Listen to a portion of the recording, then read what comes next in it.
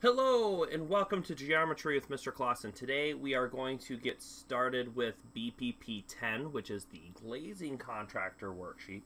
And if you don't know what a glazing contractor is, a glazing contractor is the specialist that is involved with um, installing the windows in your home and maybe is part of planning the window installations of your home. So for this assignment, we're going to do some relatively basic calculations. Again, um, many of them are square footage, but then we're going to relate those square footage calculations of window area to the square footage of your floor plan. So generally when you're looking at um, windows and installing them in your home, there's some things to take into consideration.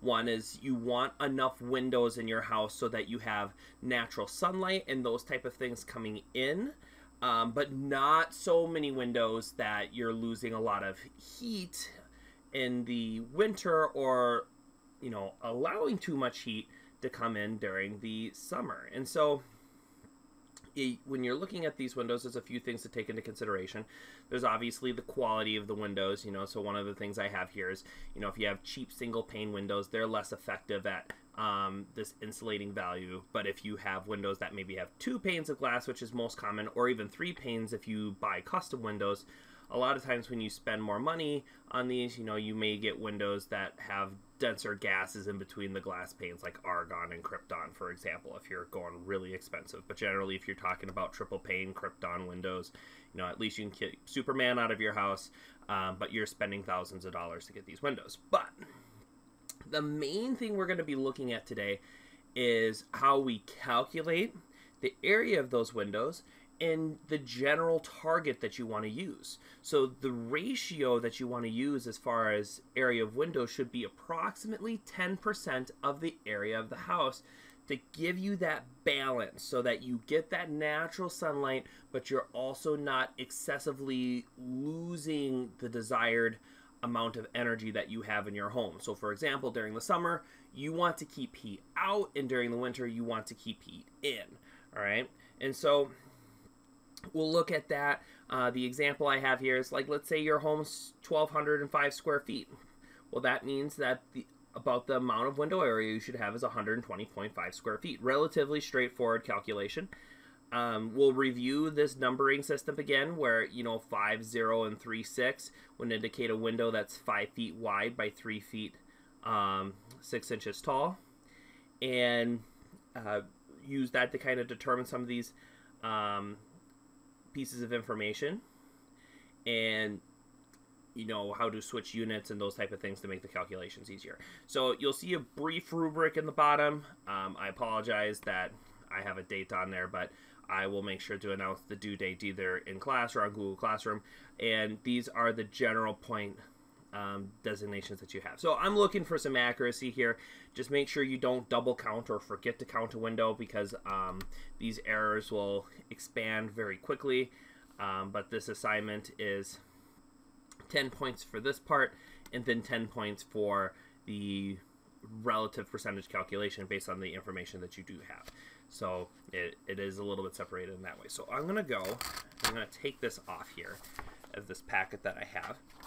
And what I have on the back is the list of windows of a house, and we're going to find each area and then divide that area by the total square footage of the house and write your final answer as a percent in the space provided. So what I'm going to do for you is I'm going to walk through the cabin one floor plan so that we can go and do this together and you can see what it is that I want you to do. And then I will have you do cabin two on your own. And that'll be the main part that you are graded upon. So if we're looking at this, um, one of the things that we want to be able to do here is calculate these window sizes. So, you know, I'm going to pick a spot to start from. I'm going to start from this door. Now this window is not labeled. So what I'm going to do actually is I'm going to label this window.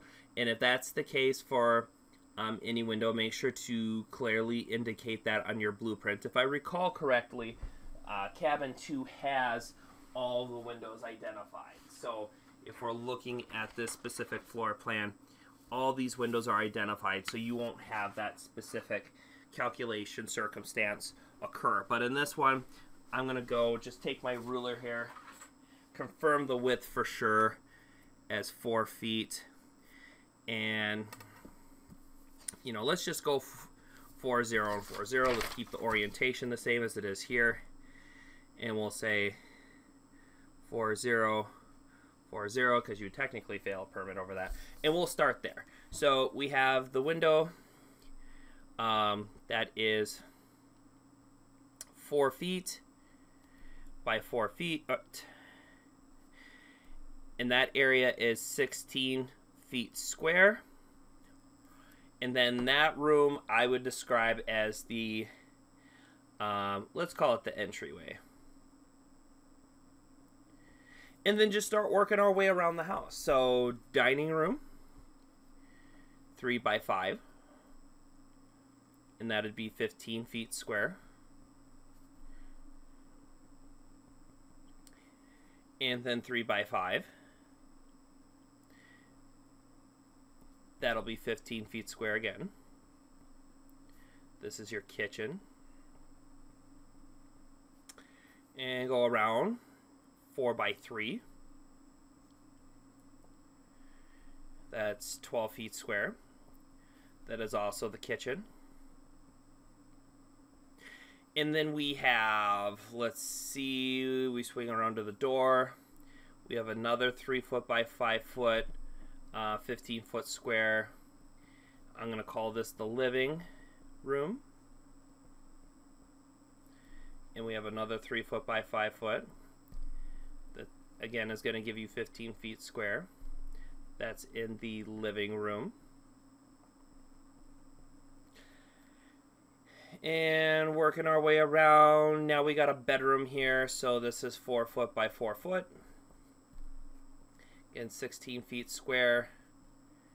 This is a you know, bedroom. Call that bedroom one. Go down. And I'm just kind of following along uh, just one pathway here, just trying not to miss anything. So this will be three feet square. This is your bath. And then last but not least, you have one more bedroom window, four feet by four feet. 16 feet square in bedroom 2. Alright, so you have all this information here um, real quickly. So now, how you calculate the total window area is pretty simple. You just take all these numbers and you add them up. So if we go and take a calculator you know, we can go and say 16 plus 15 plus 15 plus 12 plus 15 plus 15 plus 16 plus 3 plus 16 and I get 123 feet squared. I'm just going to do that math again so that would be 46, 58, 88, 88 plus 32 would be 123. Okay, just checking that after my last video and just having some uh, uh, slight math error. So if you have your cabin one square footage from before, go ahead and use that um, calculation. If you forgot it, well, then just do that area addition postulate again. That's going to be pretty quick in this given instance. So, you know, this is 12.5 feet. And when we can do all of this really quickly, I mean, my hope is by this point that your ability to do square footage calculations is relatively well established, but that's 25 and 3 quarter, oh wait, yeah, we'll say 25 and 3 quarter feet. And then let's go and split this apart for sure. Make that as straight as possible.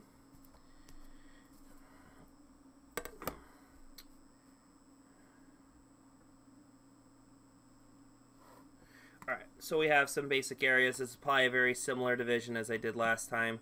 So this gives you 16 and a half feet.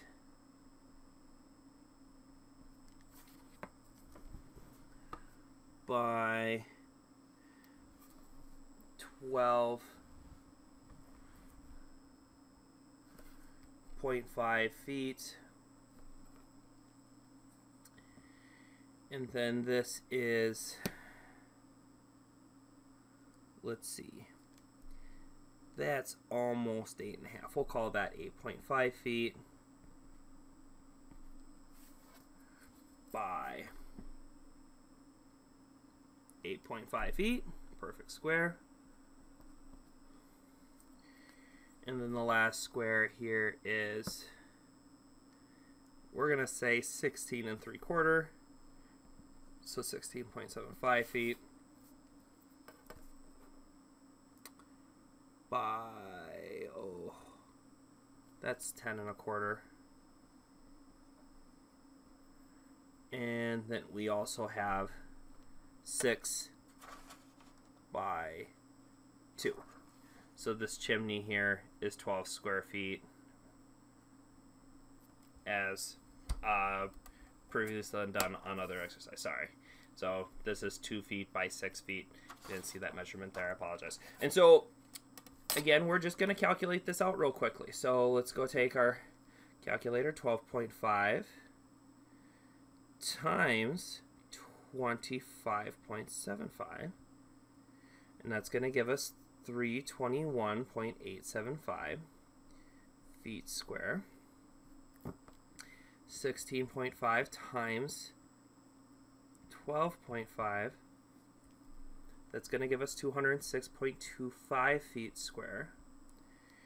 8.5 times 8 point, oh, 8.5 times 8.5 72.25 feet square 16.75 times 10.25 gives us 171.6875 feet square. And then we have the 12 feet square here. So let's just add all these numbers up. So I'm going to clear all this out of my calculator real quick. So 321.875 plus 72.25 plus 206.25 um, plus 171 0.6875 plus 12 and I think that's close to what I had last time. Um, so we'll go um, 784 square feet um, in terms of that calculation. And I'm just gonna kind of that's almost 500 six seven yeah so that that's the right ballpark that we're looking for in terms of that number and how to do um, this calculation. So let's do the house area here. So 784 feet square is the area of the house. The area of the windows is 123. So now to simply do this area calculation, it's as simple as going 123 um, divided by 784. And what you'll see with this home is that, now this is in decimal format, so if you want a percentage, you multiply it by 100. And this would be 15 0.7%. And to the 10th place, as far as the percentage goes, is, is fine by me. And one of the things that you'll you'll notice with this is that this is a relatively high percentage. I would say, you know, you're aiming for 10, um, you know, if it's your main home of residence. I'm not sure what a typical glazing contractor would say, but I, I think anything above 13% is actually um, pretty large. Now, in this case, we're talking about your cabin. This is your second home. You know, something that you maybe would only have heated on the weekends and that type of thing. So maybe having additional window area isn't a big deal. And I mean, if you're trying to get a view, you know, those are cost benefit analyses that you're doing on your own. But in general, this is what I'm looking for you to do as part of this activity. Um, so go ahead and include all this for cabin one. And then for cabin two, I want you to go through this other floor plan. If you've already done the square footage calculation and you have that, that's one piece of information that you already have. And then it's just going through the windows and taking that area. So this should be a relatively simple and straightforward calculation.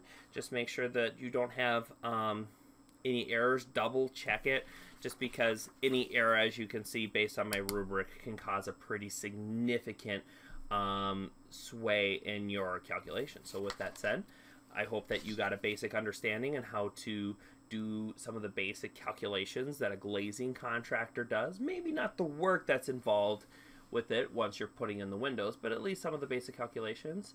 And with that said, let's do some math.